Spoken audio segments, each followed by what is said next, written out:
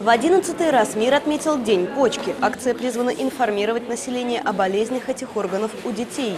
Проводится она во второй четверг марта. Организация просветительских акций призвана уменьшить распространение хронических болезней почек. С 2013 года они внесены Всемирной организацией здравоохранения и Организацией Объединенных Наций в список болезней, представляющих угрозу для человечества. По статистике, каждый десятый житель планеты страдает почечными заболеваниями. Около 15 миллионов из них – россияне, причем большая часть – молодые люди в возрасте от 30 до 40 лет. В настоящее время э, Министерство здравоохранения очень э, широко пропагандирует посыл профилактической медицины.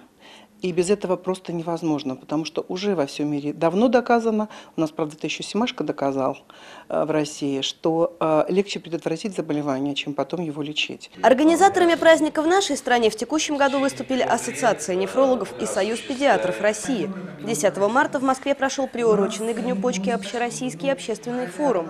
В нем приняли участие ведущие врачи-нефрологи, педиатры, специалисты по заместительной почечной терапии, представители Министерства здравоохранения Российской Федерации. Всего 370 человек. Интернет-трансляцию форума наблюдали более 80 тысяч жителей России. Ну, сегодня на заседании, когда мы говорили, мы говорили о таких важных вещах, которые, а, в общем-то, касаются организационных аспектов оказания помощи а, детскому населению в плане нефрологии и а, вопросам нормативно-правовое регулирование а, медицинской помощи детям с нефрологическими заболеваниями. Приоритетом последних десятилетий для педиатров считалось снижение младенческой смертности.